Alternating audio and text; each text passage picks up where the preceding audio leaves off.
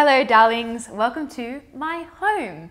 Uh, 2020. Tis the year of the working from home Zoom meeting. So I thought I would show you a very typical makeup look of mine that I that I do when I am just working from home, doing my thing, having my Zoom meetings. And the essence of this entire look is minimum effort, maximum chic.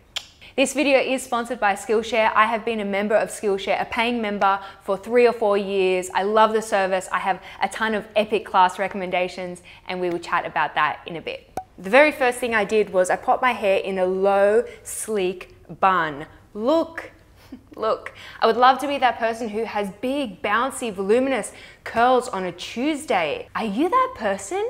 How do you do it? I don't understand. I think for me, I would just think I'd just rather sleep, you guys. This style is what I tend to gravitate towards. It's also great for concealing three day old greasy hair, in case you were asking. And then I also popped on some sunscreen um, because at some stage, I would like to preempt that at some stage I might actually leave the house. um, one, one can aspire, if, if only for a walk around the block. This is the Neutrogena Hydro Boost SPF 50. I asked you guys on Instagram what you thought about this, and so many of you said it was like a holy grail holy grail sunscreen for you. And many of you said that you loved the formula, but it made your eyes water. I'm so glad that you mentioned it. You guys mentioned that to me because I might not have made the connection otherwise. Once every fortnight, my eyes will become uncontrollably watery. Um, and it, it, must be it must be the SPF. But I keep using it because it performs really beautifully under makeup, so lightweight. I've shuffled you a little bit closer. Let us get on to the makeup, the fun bit. So I'm gonna start with a cushion foundation, seriously lazy, seriously lazy. I find these to be the quickest way to get some coverage on the face. Now, whenever it comes to like really quick makeup, I always say pick your priority. So, for example, some people like to focus on their complexion. That gives them the most confidence. Uh, some people don't feel like themselves without a brow. Uh, others feel as though their, you know, their wing liner is almost their uniform, very much a part of their identity. So whatever it is that speaks to you and that what, whatever makes you feel best, that, that's what you should focus on. Right now I'm having um, quite a bit of hormonal breakout, so I'm going to be focusing mainly on skin. I'm doing a little bit of a bit of a lip, bit of an eye, you know, just because I love makeup.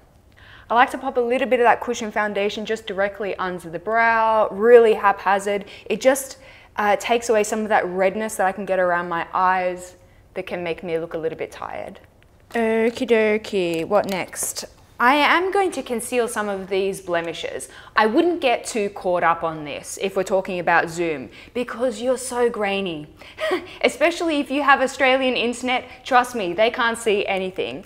Um, it's, it's nice if you have like a, like a boulder like this one that I've got here. A little bit of concealer won't hurt, but I wouldn't, yeah, wouldn't get too, too caught up in it.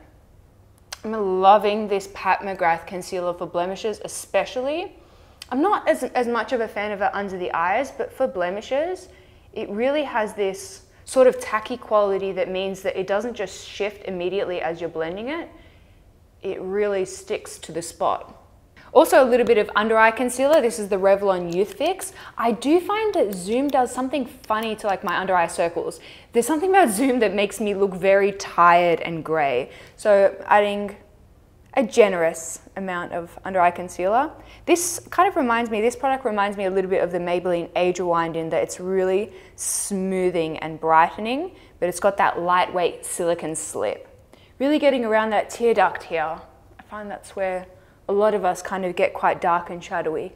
Ooh, you know what I'm really loving? Glossy blush. I want to do a video actually all about different kinds of glossy blushes. These are the ones by EM Cosmetics, um, the serum blushes. They are so lovely. Every day I wake up and I'm so excited to just put a little bit of glossy blush on my cheeks. It's really like a pleasure in my mornings. So I'm thinking, shall we go for a peachy color or a pinky color? Peach, pink, peach, pink. It's a tough one, but I think I'll go for a peach. I always like a peach. So it's kind of like a liquid blush formula. And I find also that uh, teleconference and, and Zoom applications tend to make the entire frame look quite gray. Um, so I think a little bit of extra blush translates really nicely. Oh, oh. Who am I Who is this blush loving person? For years I didn't even wear it. I also find that I don't even really need to add highlight after this because it gives me such a such an epic shiny bounce on the apples of my cheeks. So double whammy. And I'm using quite a big blush application here, really over the larger area. You can even add a little bit on your nose. I think that that's a really youthful placement. Just gives the, the entire face this sort of all over saturated color. Ooh, she's so dewy. I am going to add a little bit of powder, mainly for longevity. Um, just pat out any areas where it looks like your concealer is creasing a little bit. This is the Pat McGrath Under Eye Blurring Powder, another great example of a hyper lightweight silica-based powder. Um, just adding a little touch across the forehead, mainly down the center of the face. This stuff is impossible to overdo, even if I'm in like a massive rush. I haven't had any powder disasters. For eyes, I want some definition that's really quick and simple. So some days I find that I'll just add a little bit of bronzer through the socket if I'm feeling a bit puffy. That placement is really great for, for hooded or for puffy eyes because it helps to give the eyes more contour. Other days I'm just feeling like my eyes look really tired and I'll add a little bit of highlight down the center of the, uh, of the ball of the eye and that's really great for deep set eyes. It kind of brightens the entire eye area. I also love a one and done eyeshadow. I just uploaded a video all about my favorite one and done eyeshadows. I shall link that somewhere on the screen. But I have a new discovery, you guys. This is the Kosas 10 second eyeshadow in the shade Globe. And I've been playing with this for the past few days. This formula is unlike anything I have ever tried. So it's kind of like a liquid. Now just swipe it all over the lid. It's not a product that sets straight away, so you can, you know, afford to to be a little bit lax with it. Then I'm gonna take a, a, bit of a fluffy crease brush and just buff out the edges. As the name would suggest, this really is like a 10 second eyeshadow, foolproof. And the color is so pretty. It's this kind of like bronzy, mauvey moment. Yeah, wow. I do find that at the end of the day, it can get a little bit creasy uh, where my skin folds on my eyelid, but no worries. I just pat it out, it's not a big deal. Ooh, love it, love it. I might add a little bit of that to my lower lash line too. I will be doing a um, brand review on my channel very soon. Keep, keep your eyes peeled for that one. Very excited. I've been pretty candid that 2020 was challenging for me. 2020 was such a roller coaster, and I'm sure many of you guys can relate. It was one for the books. Um, but one of the things that I'm so pleased that I did this year, it was really beneficial for me and my own mental health, was I actively sought out new passions, new passion projects, and really sought to like hone in on my creative skills. And a great place to do that is Skillshare. If you're not familiar with Skillshare, it's an online learning community with thousands, guys, thousands of classes from cool creatives who are generous enough to share their craft with us. There are so many class topics. You can do illustration. I love the illustration classes. Maybe you want to dabble in a little bit of graphic design, uh, photography, music, web development, freelancing, the list goes on. All right, let me tell you about just a few of my favorite classes from Skillshare. Uh, you might not know this about me, but I, I love plants. I love plants. They're all over. Do you want to look at some of my plants? Do you want your face in it? Yeah, it's like David Attenborough. Philodendron Pink Princess. Fiddle leaf fig. Hoya Purple Pride. I think this one is actually rare. Scindapsus pictus. This is some sort of Rhipsalis, I believe, and look, it's got blooms. It probably means it's happy. And this is a chain of hearts that I propagated, and look, in a diptyque candle. If you also love plants, you should watch Plants at Home, where Christopher Griffin teaches us about lights and root rot and propagation and all there is to know about um, plants at home. And another class that I'm doing right now is called Start Drawing. Three fun, freeing exercises to spark your creativity. I've always wanted to draw since I was a kid, and I really love that Carly's exercises are a little bit abstract, Um, so I didn't feel pressure to be good at them right away. Another topic that I love discovering on Skillshare is um, everything about Procreate. So this is what a lot of content creators use to add movement and animation and text to their YouTube videos. And I have dabbled a little bit of, dabbled in a little bit of Procreate in the past, but I would really love to master it. Uh, and the brilliant thing about Skillshare is whether you are a beginner or a pro or you work in a creative industry or not, there are classes to fit your skill level. So if you are also working from home and maybe feeling a little bit stuck indoors, then click the link in my description box. The first thousand of my subscribers to click that link will get a free trial of the premium membership. So you can go in there and explore, maybe learn a new skill or just get inspired or hone your craft or start a side hustle or just invest in yourself. I am a massive fan of the Skillshare platform and I'm confident you guys will love it too. By the way, for those of you who are already um, part of Skillshare, what are what are your favorite classes? Tell me in the comment section down below because I'm so I'm always looking for something something new to learn on there. All right, back to the makeup. I'm going to curl my lashes. I curl my lashes every single day. Even if I have no intention of leaving the house, I curl my lashes because it makes me feel cute and I feel cute for me really close to the lash line and then I sort of move a few mil up, a few mil up, a few mil up, and that way you get a beautiful C curve. If I have an extra minute, I like to spend it on my mascara. So I'll add one coat and then go in with a, um, a clean spoolie to comb out the ends or any areas where it looks a little bit clumpy. And then I go in with another coat of mascara. Look, I was, I was a false lash wearer until 2020.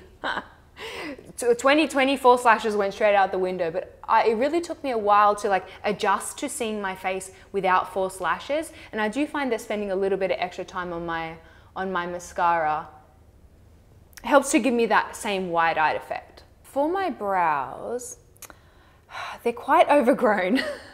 I'm not sure there's too much that could be done for them, but I do like to sort of fill in a little bit where I have a bald patch with a brow pencil and maybe lengthen my tail a little. Just a few quick strokes. But again, if you're someone who is all about your brows, then you might like to focus on this area of makeup. I just like a little bit of a, a little bit of a swish swish. And then one of my like favorite tricks of the moment is I'll take the Benefit Gimme Brow Tinted Brow Gel in the shade 3 which is actually a lighter color than my natural brow hairs. And I find that using this all over gives me a, a fluffy, bushy, quite a large brow that's a little bit lighter and softer. It just adds a certain softness to my face using a, a lighter brow gel. I'd be really curious to hear actually, how have your makeup preferences changed this year? you know, with everything that's happened. Do you find yourself wearing less makeup or maybe more makeup?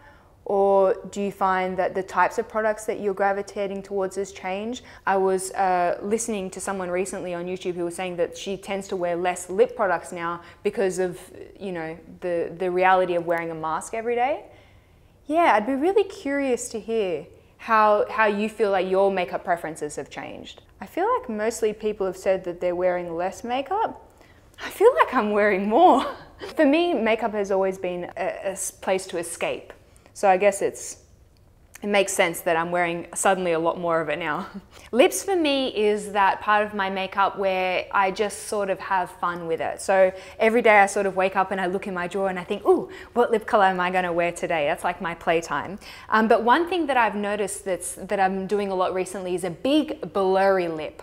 I see this a lot on, like VS models and, and a lot of fashion models, it's this kind of hazy, large lip. And I'll show you how I achieve it. So I'm gonna go first in with a nude lip liner. This is by EM Cosmetics. I did an EM Cosmetics order recently, which is why I'm testing out a lot of their products. So I'm gonna do, I'm gonna line my lips roughly.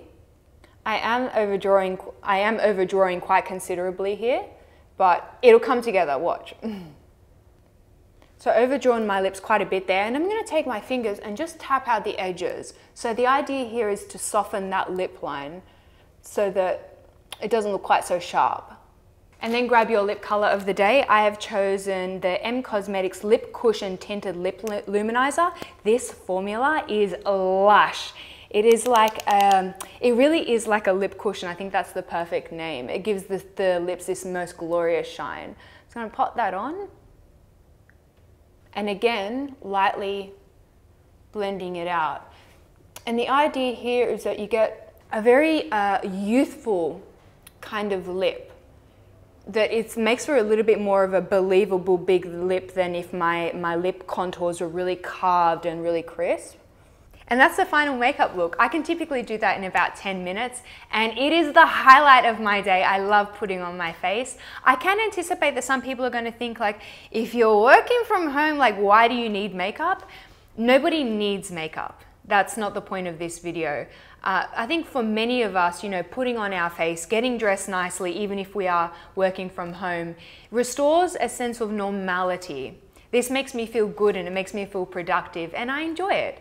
And whatever it is that makes you feel good, do that. There is no obligation to wear makeup, but if it makes you feel good, then do that. Now let us together do that very relatable thing that we all do where we last minute run around with our laptop and try to find a decent place in our house to hold a Zoom meeting. Shall we do that? Yes, let's do that. Okay, so this is me in our study, right? It would make most sense for me to have a, a Zoom meeting here. But as we can see, this is the worst frame ever. This does me no favors. I have light coming in from only one side. I've got a distracting background. This is a nay. I'm going to pick up my computer and go somewhere else. so I can move around my house a little bit and I can sit on my couch. Now, here I feel like the issue is that I'm backlit, which makes it very hard for for people to actually see my face and also the the computer is set very low which is giving this very awkward unflattering double chin angle this is a no so we've moved here to my dining table. I am sat in front of a very large set of windows and it's important then when we're looking for light that the light is directly on our face as opposed to one-sided. That said, this is indirect light. And if you're a plant lover, you'll know what I mean. It's not, uh, the sun's rays are not actually touching my face in a way that's blinding me. That's probably not ideal. This is just a soft indirect light coming coming from um, the window. Now, one thing could improve this frame a little bit and that's if the the computer were a little bit elevated just so that it was um, it looks as I'm um, looking eye to eye so let me get a shoebox